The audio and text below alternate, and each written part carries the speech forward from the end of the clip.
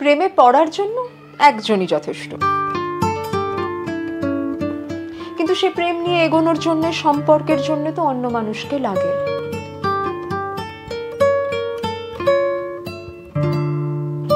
যখন তিনি থাকেন না, যখন আমরা বুঝি এ প্রেম আমার একার, যখন বুঝি হয়তো তার জীবনে অন্য কেউ আছে অথবা কেউই নেই, কিন্তু তিনি আমার প্রতি আকৃষ্ট নন, আগ্রহী নন, একতরফা প্রেম।